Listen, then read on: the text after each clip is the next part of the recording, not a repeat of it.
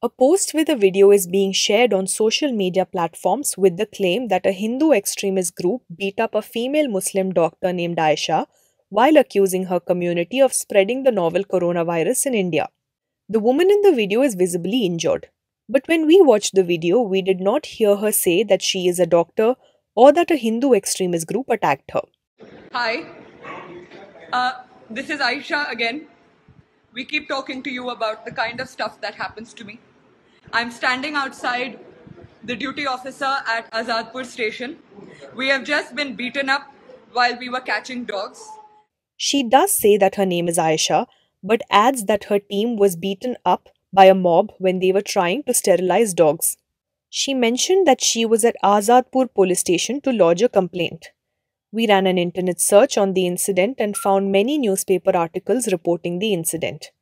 From one such article, we found that the woman and her team volunteer for an NGO called Neighborhood Woof and that their NGO is empaneled with the North Delhi Municipal Corporation to sterilize street dogs. In one such sterilization drive in Rani Bagh in Outer Delhi, they were attacked by locals.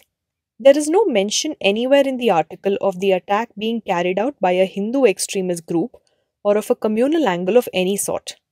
On their Facebook page, the Neighborhood Woof team explained that the incident took place because locals misjudged them to be child kidnappers, resulting in the attack. They also cleared the air about the rumors being spread in connection with this incident. As an attack on volunteers of an NGO is being shared with a false communal angle, this post is fake.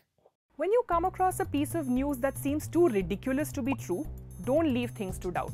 Run searches on Google and Yandex and weigh out the true and false of the situation for yourself by looking at the facts. But first of all, before you hit that forward button, pause.